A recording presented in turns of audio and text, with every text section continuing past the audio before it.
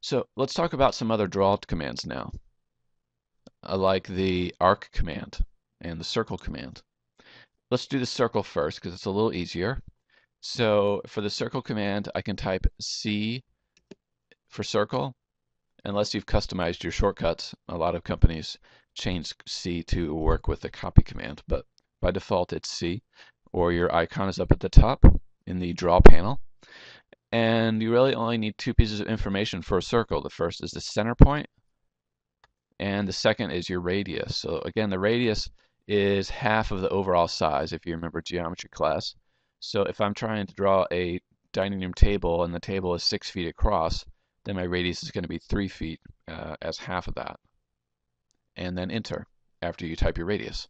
So again, the C for circle, click your start point, which could be an object snap of something else if you wanted. And then I can type in the radius that you need and enter. Remember, if you forget the steps or what you need to do, read the command line because it will remind you about what AutoCAD is waiting for as you're drawing. So the circle command is very easy that way. Now the arc command. I'm going to type A for arc. By default, the arc command wants three points. A midpoint, I'm sorry, a start point, a midpoint, and a end point.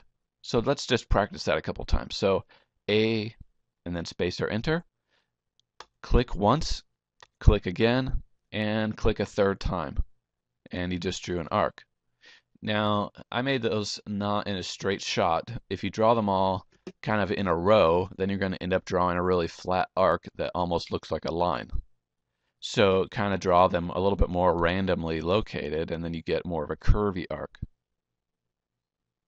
So again, A space, and then you click three points, the start, the midpoint, and the end. Now remember uh, the grips idea. After you draw something, you can always select it. And then let's look at an arc and what grips you have available there. There are a lot more grips on an arc because you have more uh, information that you can customize about it. Like the square grip at the end will allow you to drag that endpoint anywhere you want. One of the great things about arc is how customizable the shape is with the grips. So if you don't like it at first, you don't have to delete it. A lot of times I see students do that and they just keep trying to draw new ones over and over when a lot of times it's easier to just modify the shape by using the grips. The triangle at the end will lengthen the arc without changing the center or the radius. So that's kind of handy if you want to make it a longer or shorter piece without changing the other information. Now keep in mind, if your object snaps are still on, that can affect things as you move grips around. So the uh, circle at the midpoint of the arc will uh, also kind of stretch it out to be different curves. Really, it's changing the radius, but um, and then the uh, triangle at the midpoint will change the radius while leaving the center point the same. So you have lots of flexibility in how that arc is customized with the grips. Okay, so now that's the basic arc command. Now you do have other options during the arc command like center option. Sometimes you don't know where those midpoints of the arc need to go, but you need to be precise.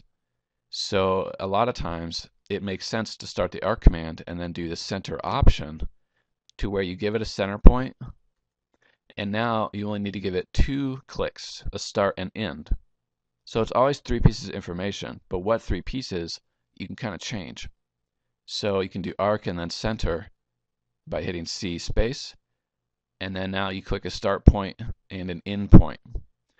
Just note that when you draw an arc this way, you're always drawing in, in a counterclockwise direction. So you kind of have to plan ahead for that sometimes.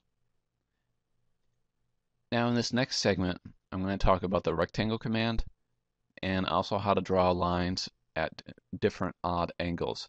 First, I want to clean up some of this other stuff. So remember that you can put a window around your objects.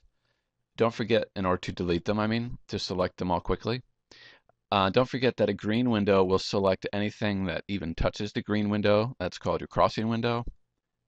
Versus a blue window will only select objects completely enclosed by that window. And then I can press delete.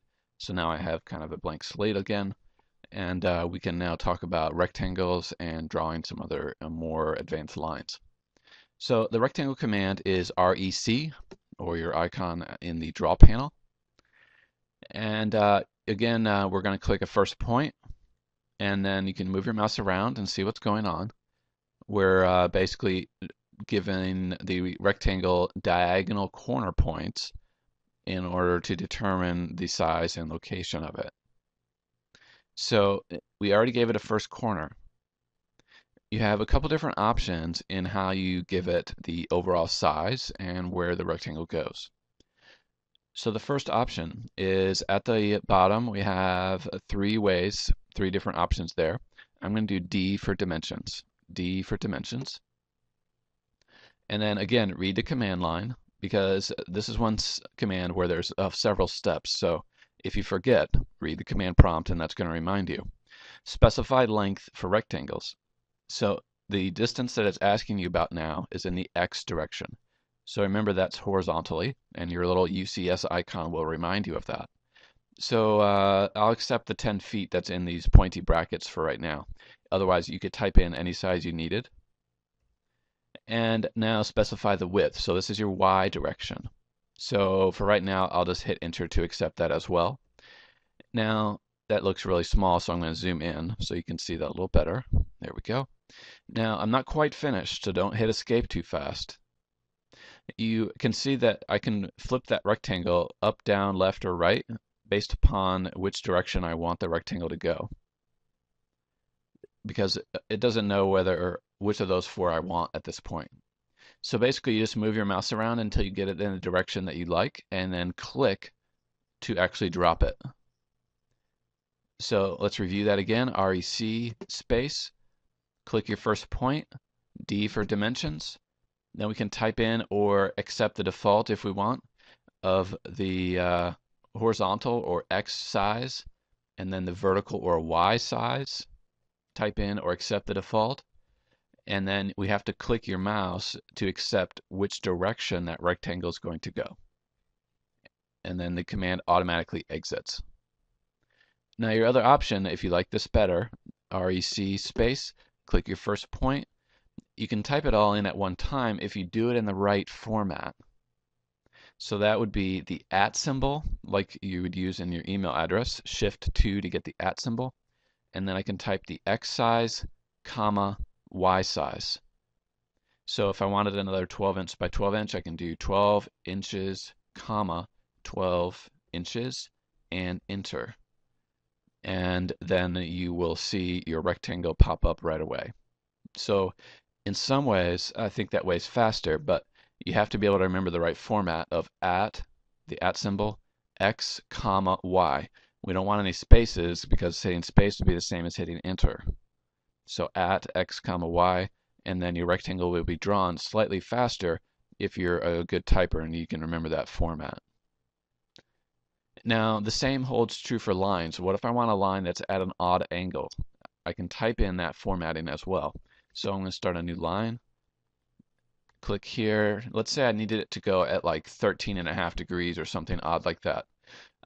I don't want to really have to go and change my polar settings just to do that because maybe this is a one-time deal. So I started my line. It's waiting for the second point. I can do the at symbol and then type in the length Maybe I'll do uh, 24 inches right now. Obviously, in the real world, you have specific problems you're trying to solve, so you're typing in whatever the length you actually need. And now for the angle, I need the caret icon or the caret symbol that points toward the left, which you can get to by using shift and the comma key. Shift, comma. You'll notice there's a little kind of caret symbol pointing toward the left. That's what you input for the angle. So now I said 13 and a half degrees. I'll just stick with that, 13.5, and enter. And now I have a line that's at that odd angle and at a specific length. So again, you start your line, click your first point, and it doesn't really matter what you do with the mouse after that because we're going to type in the format we want. So we do at, the at symbol, the distance, the angle caret, which is shift comma, and your angle. Just remember that your angle corresponds to the coordinate system based upon what I went over in the previous video, which is this. So if you wanted to go, you know, up and toward the left, then you do something between 90 and 180, or down to the right would be something between 270 and 0, etc. So sometimes you might have to do a little bit of math in your head as far as maybe you want to be 30 degrees past 270, so then you got to think, okay, that's 300 degrees. So you have to sometimes be able to do that. If you're just learning, you can put a diagram like this, you know, next to your computer, and that helps you to kind of get used to it. So what are the formats for how we can type in information? Like we've talked about just feet and inches, but what if I want fractions and things like that? So I can type in formats as follows. I can type in obviously just feet, like three foot. I can add inches onto the end of that, like six, and then the inch mark, the inch being the double quote mark. Now, AutoCAD, if you have your units set up the way that I've been teaching these videos, your units are set to architectural with inches as the default unit. And what that means is if you don't put a unit, AutoCAD will assume inches. That's very important because if you want something to be a certain number of feet, then you have to put the foot mark. So I could put 3 and then the foot mark and then 6 inches, and AutoCAD is going to assume 3 foot 6. So I don't have to put the inch mark because that's the default. Now if I want it to be 3 foot and 6 and a half inches, I can do 0.5, 3 foot 6.5, I can do that. If I want it to be 3 quarters, I could do 7.75. Some of those decimals are fairly obvious. Now, what if it's more of an odd one or I don't know the decimal and I need to type the fraction? I can't just type the fraction smashed up against the 6 because when you do, then you can see how it looks like if I'm trying to do 3 quarters, you can see it looks like 63 over 4. So that's not really what I meant. So if you put a dash, a hyphen, now I can type 3 over 4 and AutoCAD will understand what I mean. So again, if you want a decimal, that's fine, like 6.5 or 6.75 for 3 quarters. If you want a fraction, then do 6 and then a dash and then 3 over 4. And AutoCAD will then understand what you mean. So those are all acceptable ways to input your sizes.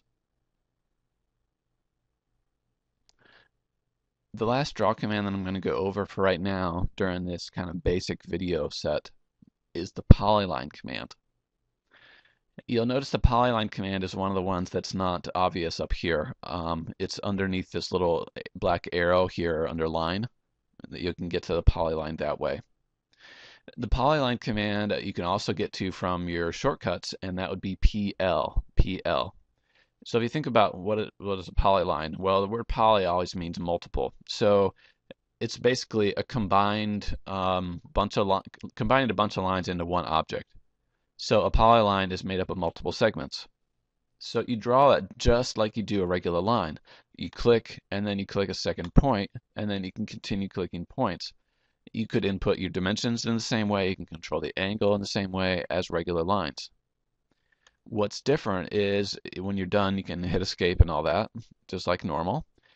When you select it, you can see that it selects it as one object and not three because I drew three segments.